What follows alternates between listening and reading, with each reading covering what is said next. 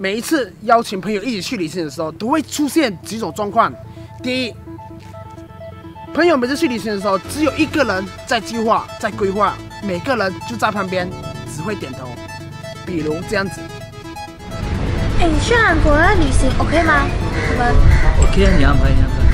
OK 啊，没问题啊，很好啊。可以吗？可以吗？你们不去我看看。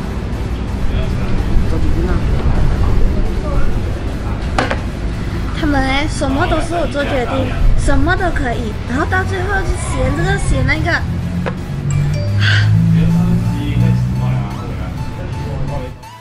第二，当一个人在骗你的时候，骗好之后给朋友看的时候，朋友只会说这个不好，那个不好，挑剔这个，挑剔那个，但是他不知道那个人安排的多么的久，花了多少时间才安排出这些里程，到最后你还是要重新规划，比如这样子。行程我先去 group chat，然后你们 check 一下，就是这样子啊，哈。我觉得不行呢，全部 OK。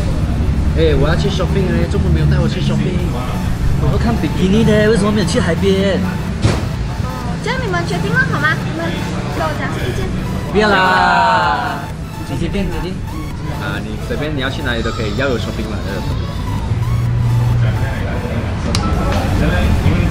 第三个，每次我跟朋友去旅行的时候。都会遇到一些意见不合，比如吵架，还是闹翻，还是直接就不要去旅游了。比如这个样子。那个去那边做什么交通工具好呢？我要坐德士，我不想走路。巴士比较便宜。我觉得坐火车比较能感受当地风俗。巴士、火车、德士、德士、德士。你。不要去了，德士。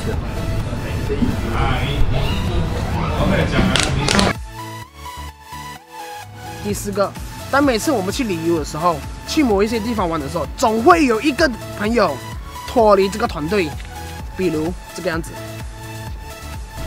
这个滴滴，每次都一个人跑掉，不跟我们一起，就是讲啊，一点都不合群啊。他每次都是这样的啦，每次都兵分两路的，我就要骂他。唉，一个人感觉真好。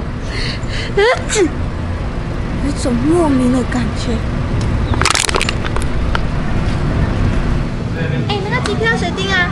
有个很好的网站，我来订。哎，我会员卡，我来订。不要现在订，过多几天便宜，我来订。那机票订多久？